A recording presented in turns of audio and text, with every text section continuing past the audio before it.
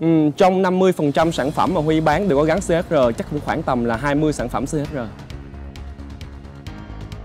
Sản phẩm thẻ chăm sóc sức khỏe giúp khách hàng của Huy là có thể bảo vệ cách toàn diện hơn, yên tâm, toàn diện và cao cấp từ bệnh nhẹ cho đến bệnh nặng và không giới hạn cái phạm vi điều trị của mình. Và dĩ nhiên rằng là khách hàng rất là an tâm bởi vì là chỉ cần là cầm cái thẻ vào những cái bệnh viện liên kết của mình là đã có thể được bảo vệ rồi.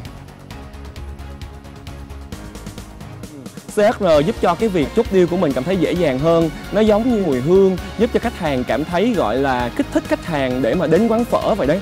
Hãy tích cực tư vấn sét rồi nhé các bạn ơi. Yeah!